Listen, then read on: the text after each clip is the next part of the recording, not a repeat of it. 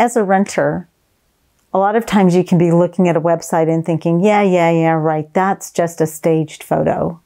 That's not really what things look like. Well, we don't want to do that. Why don't we use staged photos of our nicest apartments? Let me tell you why. We want you to trust us. Trust is the cornerstone of a long relationship that we want to build with you. If we're presenting something that's not realistic or that's just enough to lure you but isn't representative of what we do, then you have no reason to trust that we're going to take care of you.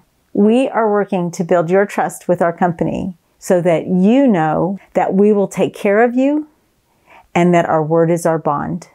Because our goal is not just to take care of you this once, it's to be your go to provider every time you travel.